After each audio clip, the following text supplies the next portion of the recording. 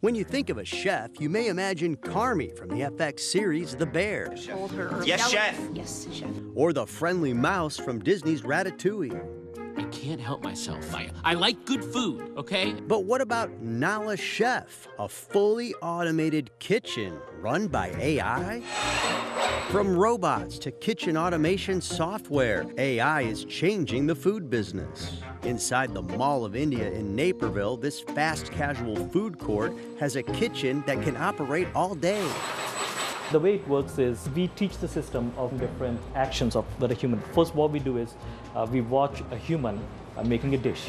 Uh, we record that, and then we feed it to the to the system. And the robot actually would would mimic those actions, and we kind of fine tune it so that this action is is perfected. Recipes are developed in a lab in India, and then the code is copied and sent to the kitchen. But there's still a human touch.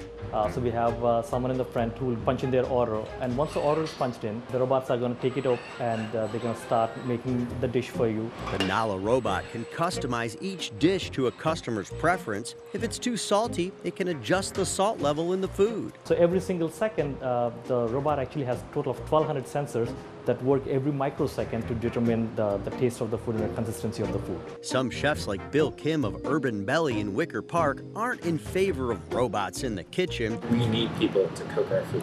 I can't have robots cooking our food. but they do use AI for prep work. His restaurant uses PreciTaste, an AI prep assistant that helps decide how many ingredients to prepare for the day.